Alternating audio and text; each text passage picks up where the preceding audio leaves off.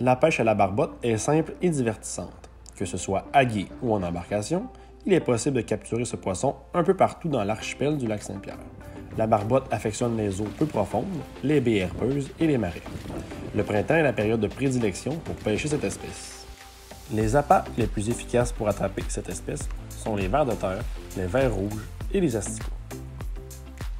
Afin de passer une belle journée de pêche, n'oubliez pas vos pinces et votre épuisette. Ceci facilitera le décrochage et la manipulation de vos poissons. Avec un équipement de pêche léger, la barbotte saura vous donner un combat énergétique malgré sa taille modeste. La barbotte est une espèce de poisson peu connu et qui mérite d'être découverte. Simple et accessible, sa pêche est idéale pour les sorties en famille ou entre amis. Ne vous laissez pas berner par son apparence, ce petit poisson est un véritable délice pour les papilles.